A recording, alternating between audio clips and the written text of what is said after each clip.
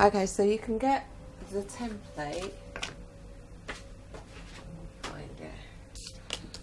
from uh, my blog.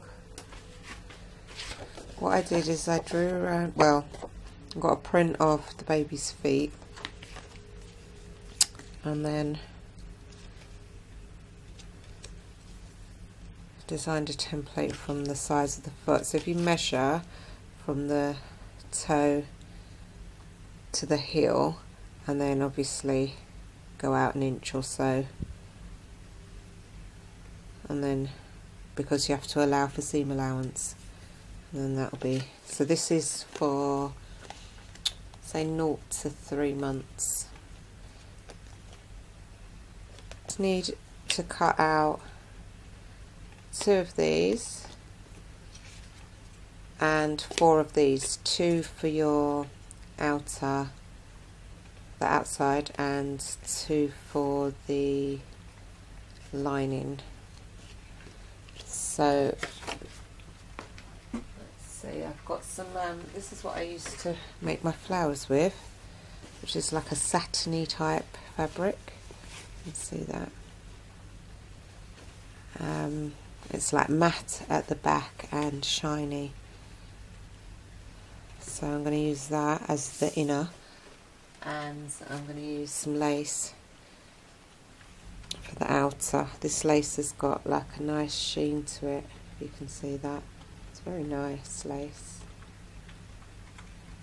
So, yep, I'm going to cut out the pieces and then just show you how to put it together.